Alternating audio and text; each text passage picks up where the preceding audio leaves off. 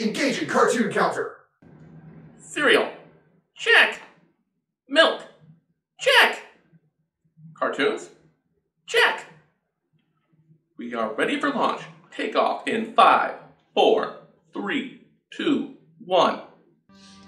Let's blast off for adventure with Jesse Willie, internet critic, and his sidekick, Ralph.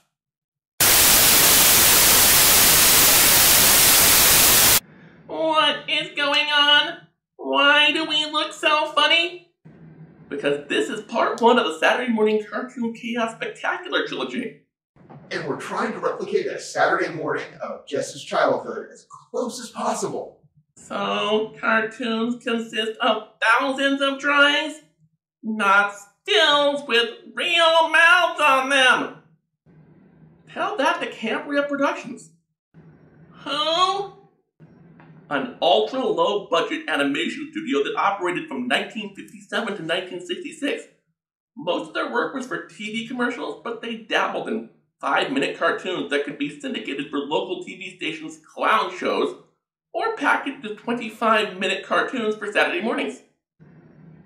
I thought Nick said we were duplicating an early 80s Saturday morning of your childhood? We are. Cambria closed its doors in 1966, but nobody renewed the copyright on their stuff. These cartoons became public domain, so they aired around 4 a.m. on Saturday mornings until 1983. Uh, how would you know that? As a small child, Jess had an 8 p.m. bedtime. So on Saturdays, he was up by 4 a.m. Aha, I see. But it still doesn't explain the real mouths thing. The most time consuming and expensive part of hand drawn animation is syncing up mouth movements to dialogue. If your cartoon is a still of the character's face with the voice actor's mouth superimposed onto the drawing, you can save time and money. Sounds pretty lazy to me. And it is rather unpleasant to look at, which is why their shows have wound up forgotten. That still doesn't explain why we're watching it! No time to explain. I was aiming to do 13 cartoons in just three episodes. To help adjust the timing, we could group the cartoons by theme. Today can be the warm-up act. You know, the stupid issue watched until the real cartoons came on. That would mean we could do five cartoons today. Um, which episode of Space Angel are we doing? Scratch one, chimp. Ah, f- Oh, uh, Jess? yeah? One more thing you gotta know before we start. The premise of the show is that there's a group of space troubleshooters. Their leader wears an eye patch only on missions. His code name is Space Angel. Sometimes he takes the eye patch off and is known as Scott McCloud. The Understanding Comics guy? No, don't be stupid. The bearded guy is codenamed Taurus. He was a Scottish engineer in space before a certain other 60s sci-fi show made it cool. The one who looks like your crush from high school, if she took off her glasses, is Crystal. Her job is uh, to be the girl. Wait! Don't go! I have so many questions. If they're secret agents, why are they visiting a school? Are they part time DARE officers? Uh, Nick? Nick? Hello? We're in the actual review. So, Space Angel is at the school. He's teaching the kids about the history of space travel. He tells them about the time the space agency launched a pair of chimps into orbit around the sun. Wilbur the chimp came back. His twin brother Orville did not. Billy Batson starts whining, saying that they should go look for him. Space Angel says this was decades ago. He'd be dead by now. This makes Billy cry. The team is super happy when the chief calls and tells them about their new mission another round of solar research. They take off on their ship, start talking about the mission, and we cut to after school. Billy's dad must have run off with the nanny and left Billy his old CB radio. He starts fiddling with it. He finds an old United Earth planetary frequency. He thinks the random background noise sounds like a heartbeat. And since it's coming from the sun, the source of the largest amount of electromagnetic activity in our solar system, his logical conclusion is it's gotta be the chimp. We get another long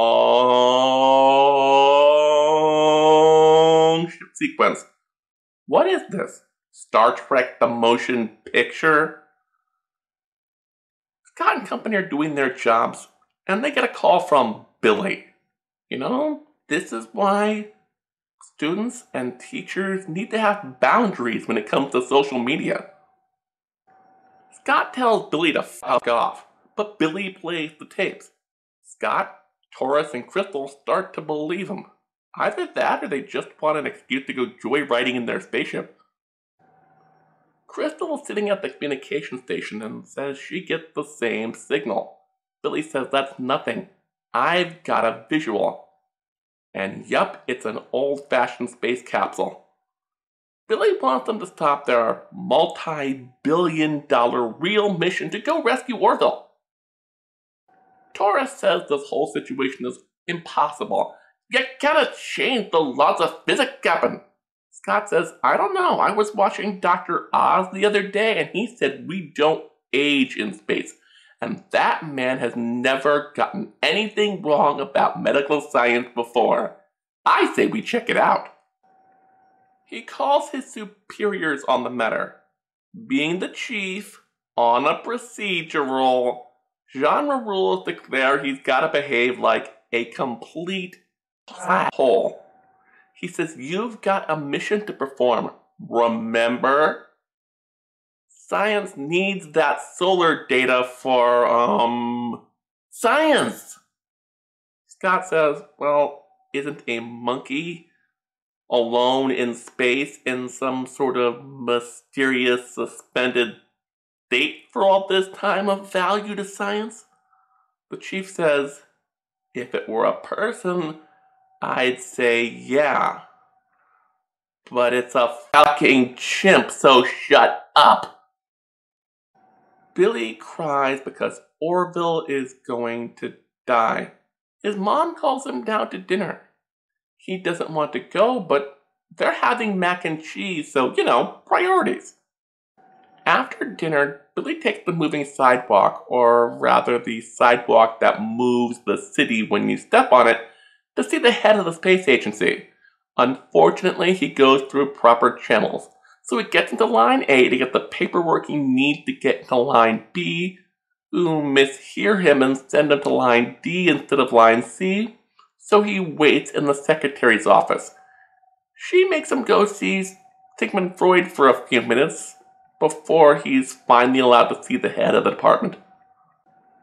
Here is where it goes off the rails. The chief, who is a veteran of an intergalactic war that was mentioned in several previous episodes, looks into Billy's crying face and says, You're right. Starfleet is a promise.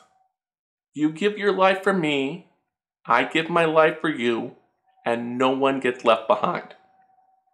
So they call Scott, who is exhausted after a night of launching the probe, getting it up and running, collecting all that data, and say, yeah, since you're already up there, can you go save that chimp?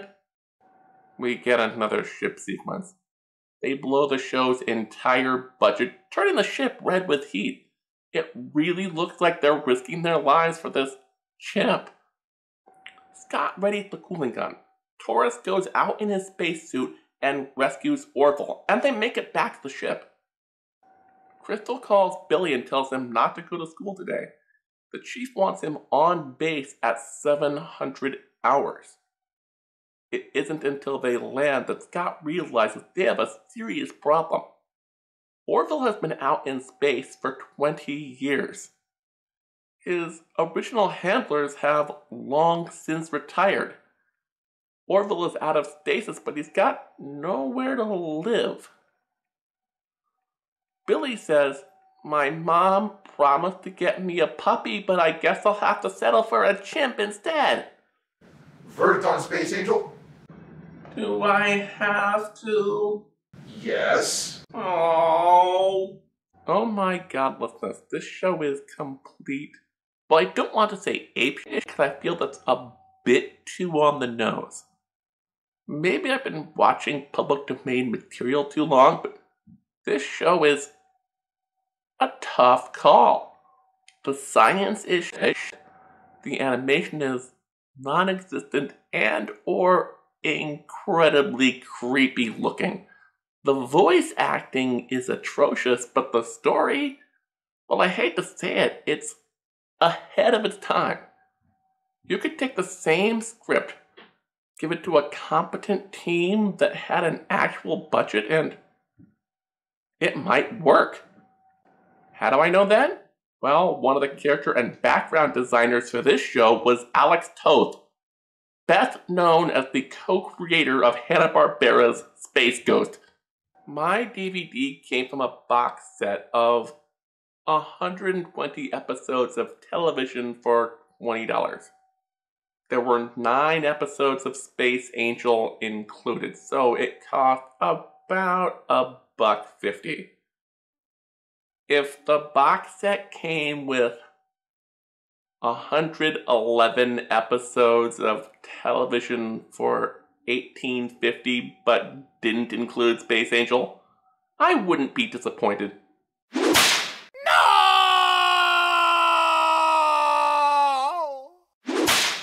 What's next? Well, another tradition of Saturday morning was the educational interstitial segment. These were no longer required after 1983, but most stations kept them going until 1996 when they were forced to give whole half hour blocks over to educational shows. You actually managed to find some of these cartoons for sale? Yup, so let's get to the grandpappy of them all. Schoolhouse Rocks. The educational songs that ran on ABC from 1973 to 1984. You want to replicate a Saturday morning of my childhood? It's a must. If you say so. Okay, Schoolhouse Rocks was a series of shorts that attempted to be a more commercial Sesame Street for older kids. Each season they taught different stuff math, grammar, American history, and during the final season of the original series, the new world of computer science. Yeah, exactly what four year old me wanted to see in between the double feature of Scooby Doo. Alas, due to copyright issues and the fact that Schoolhouse Rock's current owner, Disney, is a tad litigious, I can't play any of the songs, so I'd better just. Get to the verdict. Yeah. I didn't learn anything from these songs, but they're catchy and brought back so many memories. They teach a lot of lessons that might be useful to a kid math, science, and a little bit of healthy distrust of the government. What? How else do you explain three ring government? But isn't elbow room a little bit, I don't know, racist and imperialistic? Way to undersell it. But I paid four cents, so it's worth a watch. Yes! Okay, I hate to do this, but I gotta bring the pain. It's time for the adventures of Wacky and Packy. Wacky and Packy, Yup.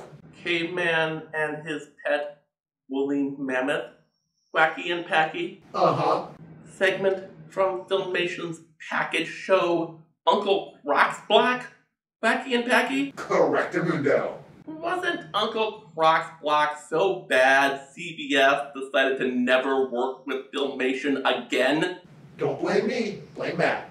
The supposed friend I erased from history in a non existent episode? Yeah, him. Look, I'll do Flintstone shit. That running gag is my fault, but I am not doing bootleg Flintstones. Not making you watch Wacky and Packy would be a violation of my prime directive to keep the show on track and to make your day suck. Aren't those the same thing? Prime directive. Fine, fine. Before our story begins, I already notice a problem. Why is Wacky's hair blonde on the package, but he's a redhead on the show? It almost makes you think no bootlegger, East West Entertainment, the distributors of such fine animations as those released by Dingo Pictures, isn't on the up and up.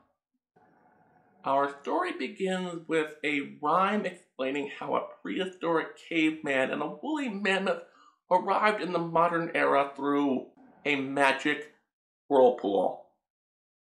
But they say they're from dinosaur days. They're only off by, oh, 64 million years. Wacky and Packy are hungry. They're looking for food remember what I said about humans and dinosaurs living about 64 million years apart? Well, apparently Wacky and Packy don't know this. They see a dinosaur eating dirt and think, if it's good enough for them, it's good enough for me. Oh yeah, and the dinosaur looks like this. Anyway, they go up to the dinosaur and ask for some yummy, delicious dirt they're more than happy to oblige. They bury them faster than CBS did this show. They start eating. Packy loves it. Wacky, not so much. They ask the dinosaur for something else and get more of the same. So they dig their way out and try to beat up the dinosaur. It launches them into space. Wacky says, Packy, one of these days, bang, zoom, to the moon.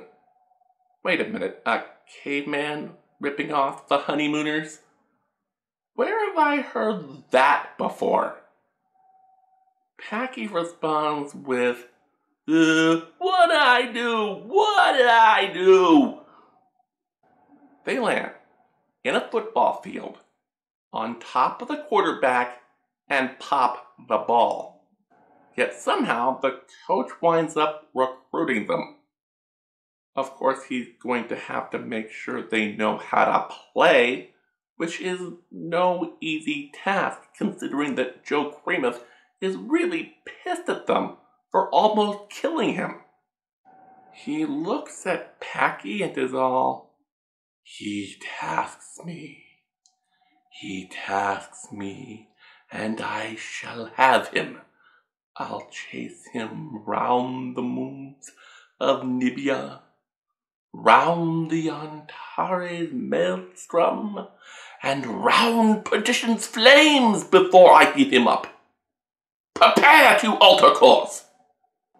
They skip ahead the game without making sure that Wacky and Packy even know the rules before Howard Cosell introduces them. Greenman convinces them to get the ball and run toward their own goal line. Packy ends up crushing his own team. Kremeth gives them even more tips. Bad ones. Wacky follows them, but Packy notices the crowd is booing so he turns his nose into a vacuum and sucks Packy back, giving the team a touchdown. Kremeth quits. The coach says, Why? Don't you want to be the star quarterback? Besides, what about your endorsement deals? After winning mostly by accident, Wacky and Packy are fired. Then we get another of those, one of these days, right to the moon, followed by Packy saying, What, what did I do? What did I do? That's when I realized this incoherent mess is even less coherent than I thought. This wasn't one cartoon, it was two.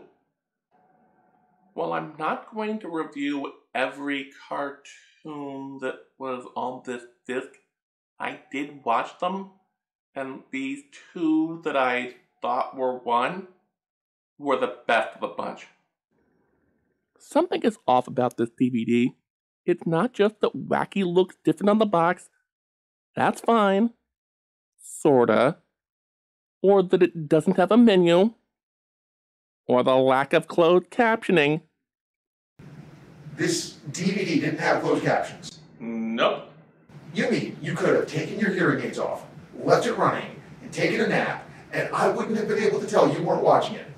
I would have done that, but it autoplays, and I mean auto plays. Once it gets to the end, it keeps going, and then, and then. Okay, campers, rise and shine, and don't forget your booties, because it's cold out there today. It's cold out there every day. No!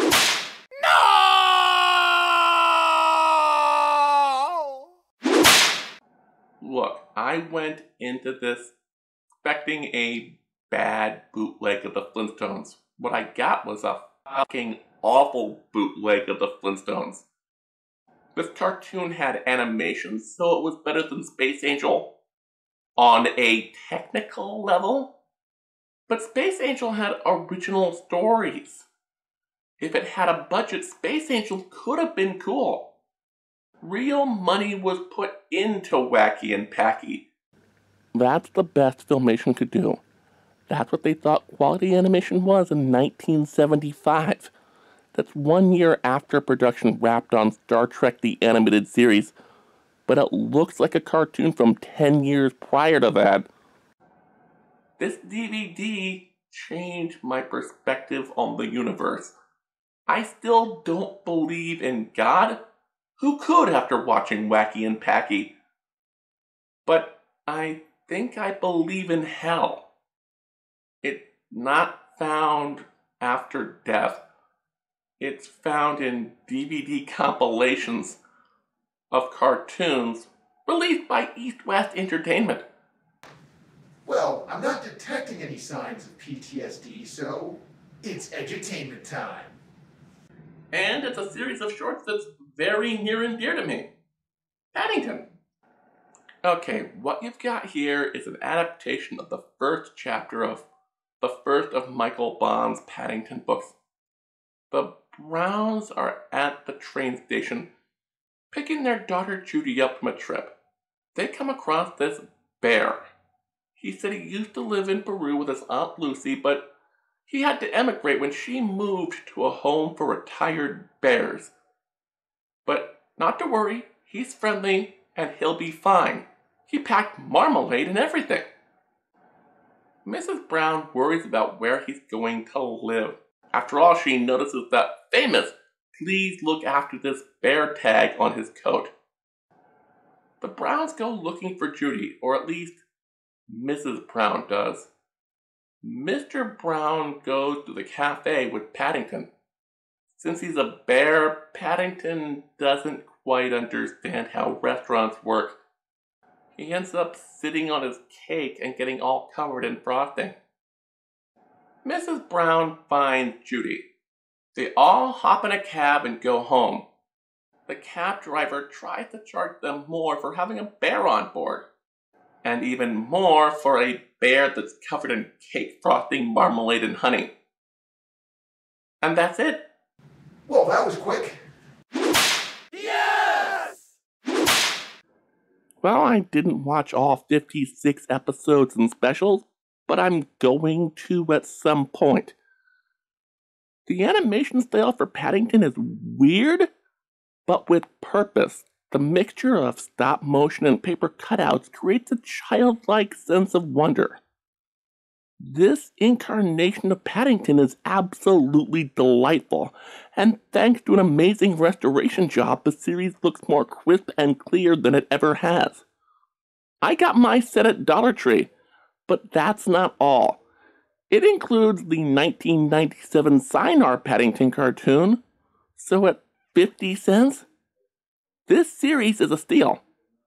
Okay, do you guys know the worst part of 80s and 90s Saturday morning cartoons? 30 minute educational cartoons? Close, but no. Cartoons without a sense of conflict or purpose of story? Like Get Along Gang? Again, no. Uh, when animation companies add sci-fi elements and a catchy theme song to a existing, preferably public domain franchise to make it look like an action adventure show when it's really a covert educational cartoon? Ding, ding, ding, you win! A chance to watch our next cartoon, DIC's biggest flop of 1999, Sherlock Holmes and the 22nd Century. God damn it! The pilot must have had a budget because they bothered to do model sheets of three of the characters in different clothes so that our story can begin in 1891. You're familiar with the story of Sherlock Holmes and the final problem, right? Holmes goes on vacation. He's really there to investigate an arch nemesis we've never heard of before, who he thinks is hanging out at Reichenbach Falls. An old man approaches Watson, saying a woman in the village needs doctor stuff. Once he's out of sight, he unmasks Moriarty.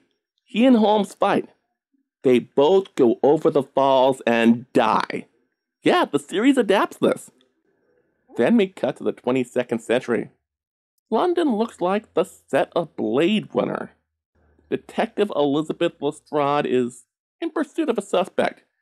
He's a mad geneticist wanted for violating his parole because his personality readjustment didn't take. Her computerized assistant Watson is helping navigate the hover car without causing any accidents. But what do you expect from a piloting program that was 99 cents on the App Store? This Fenwick guy gets out of his vehicle. He looks like a zombie. Lestrade nabs him, but his boss shows up and steals the downed car. And he's revealed to be. Bum bum bum! Professor James Moriarty. Back at the police station, the chief is pissed at her for all the destruction she caused. She tries to explain about the zombie guy, but he says, yeah, but that doesn't mean a long dead criminal mastermind is wandering around. He could have been using an image inducer like this. Then he makes himself look like Bea Arthur and has the audacity to tell Lestrade that she's weird because she treats Watson like he's a person. She goes back to the mind control lab to make sure that Fenwick gets brainwashed properly this time. The tech blames his previous failure on a glitch, but Lestrade doesn't think so she and Watson follow Fenwick to the Sherlock Holmes Museum, which is, of course, located at 221B Baker Street. The building looks pretty smashed up. They check to see what was stolen and find it's a piece of Moriarty's disguise? She asks why anyone would want to steal that and asks Watson for an analysis. But being a robot, he's very literal about it. That's what you get for not downloading the neuroimitating behavior upgrades. They're worth every penny. Back at the precinct, they see a news report on how neuro reprogramming could be losing its effectiveness. Lestrade thinks she knows what's going on and how to put a stop to it. She goes to see the chief who tells her to drop it. Whatever she's got to say is bullshit. She shows him all the tech stuff, and he's about to take her badge when they're called to another crime scene. When they get there, they run their tricorders over the evidence. Whoever stole the disguise is unknown, which should be impossible given how this future society is an Orwellian nightmare, and Lestrade's whole job is maintaining the status quo of this technocratic police state. Lestrade watches CNN and finds it's a typical news day. You know, Parliament has passed a law making putting dogs in costumes at fancy dress parties illegal. There have been more cases of police mind control not working, and some Nobel Prize winning geneticist has found a way of resurrecting dead tissue. So Lestrade goes to her family's self storage unit to get the body of Sherlock Holmes. It turns out while Moriarty died, Holmes survived the fall. He became a beekeeper and preserved his body in honey. Then she decided to pay Science Guy a visit. He doesn't want to help her, but she threatens to tell the ethics board about his unholy work, which probably involves creating hybrids of anti dick and a muskox. What's so unholy about combining a muskox and another muskox? It takes Holmes a few minutes to wake up, but he's as good as ever. He figures out who she is and why he was resurrected right away. It's through a combination of family resemblance, her name being on her badge, and the only conceivable set of circumstances that anyone would do something so fucking insane. Lestrade and Holmes call the chief and try to find out what's been going on in the two hours they've been away. Holmes wants to be let in on the case. The chief says no.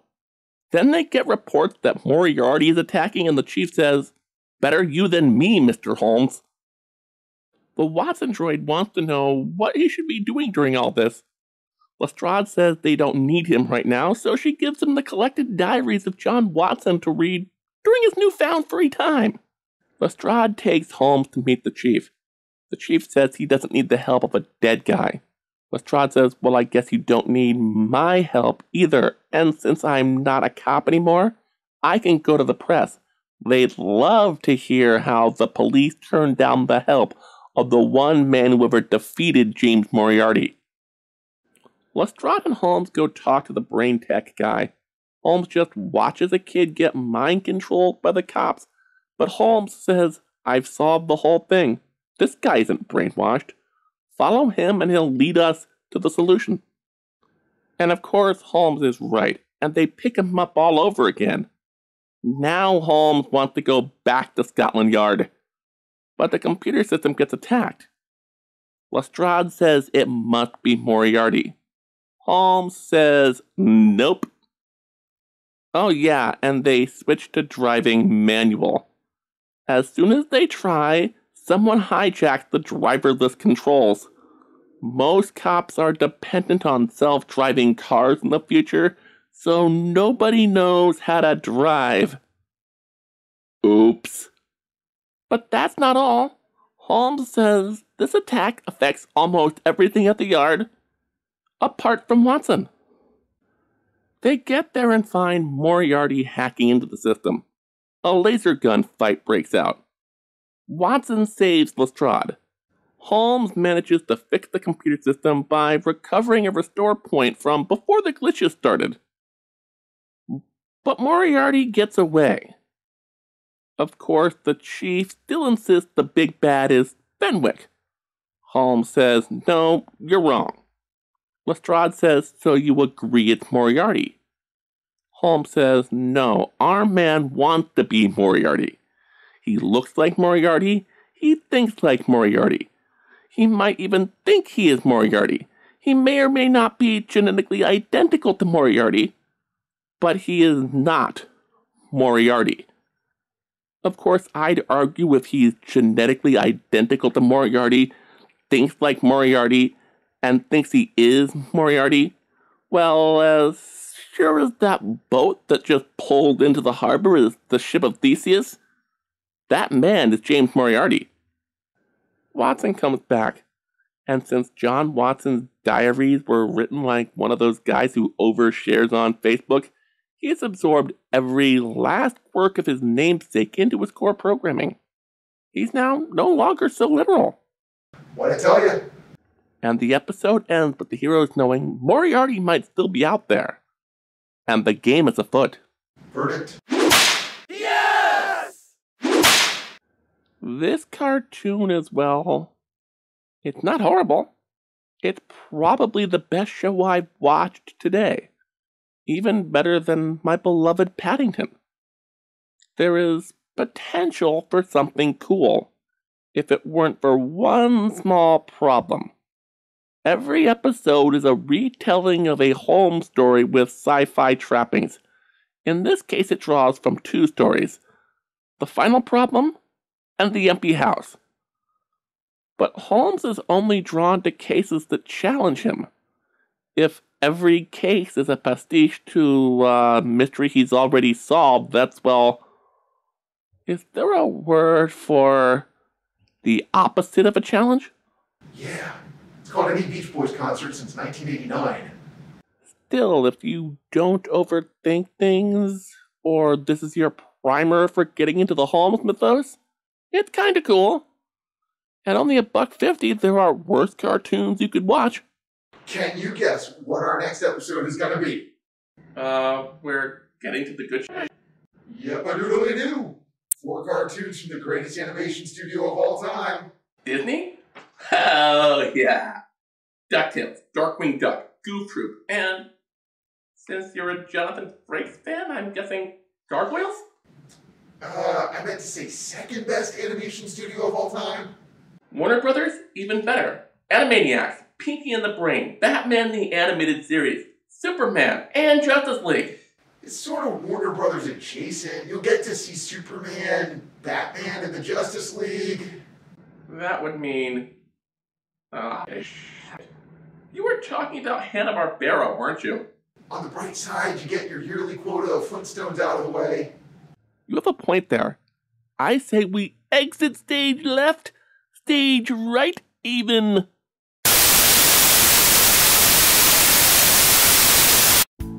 If you liked this video, please hit like and subscribe.